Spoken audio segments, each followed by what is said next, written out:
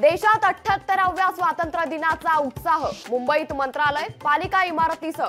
प्रशासकीय इमारतींना विद्युत रोषणाई.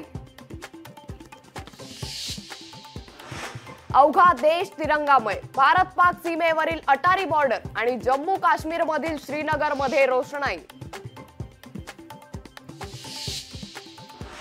स्वातंत्र्य दिनाच्या मुहूर्तावर पंतप्रधान मोदी तिरंगा फडकावून देशाला करणार संबोधित मोदी देशासाठी कोणती मोठी घोषणा करतात याकडे संपूर्ण देशाचं लक्ष. मुख्यमंत्री एकनाथ शिंदेच्या हस्ते ठाण्यात ध्वजारोहण. देशासह राज्यात प्रशासकीय इमारती सजल्या. भटवाडी परिसरात ध्वजारोहण सोहळा. प्रसाद ओक सहित आमणकरची सोहळ्याला हजेरी. गोविंदा पथकांनी थर रचून दिली सलामी.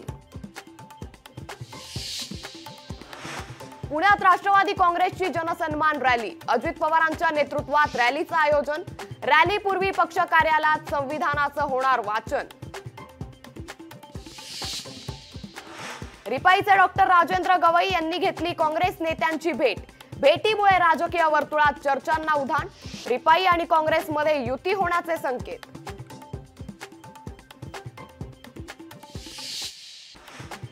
विठ्ठल रुक्मिणी मंदिरामध्ये आकर्षक फुलांची सजावट. स्वातंत्र्य दिनानिमित्त मंदिराला आकर्षक विद्युत रोषणाई.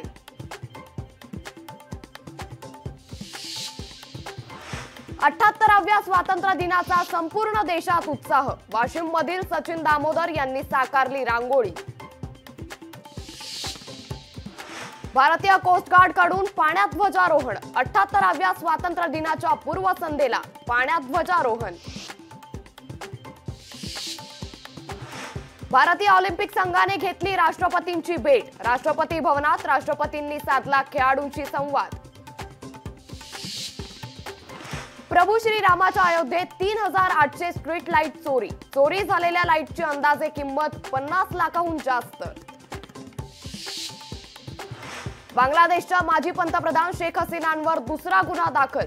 नऊ वर्ष जुन्या अपहरणाच्या प्रकरणात गुन्हा दाखल. रामलल्लाचे शिल्पकार अर्जुन योगीराज यांचा अमेरिकेने विजा नाकारला. अर्जुन योगीराज अमेरिकेतील कार्यक्रमात लावणार होते हजेरी. सिंहगड रस्त्यावरच्या उड्डाणपुलाचं उद्घाटन लांबणीवर. मान्यवरांची वेळ मिळत नसल्यानं उद्घाटन लांबणीवर.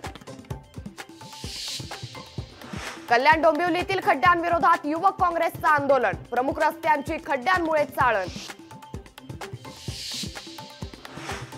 यवतमाळमध्ये स्वातंत्र्यदिनी विद्यार्थी गणवेशापासून वंचित.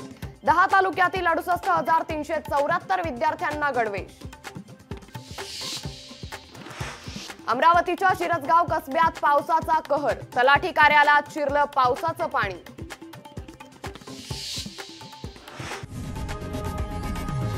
लोकशाही मराठी. ऐका पहा जागरूक रहा.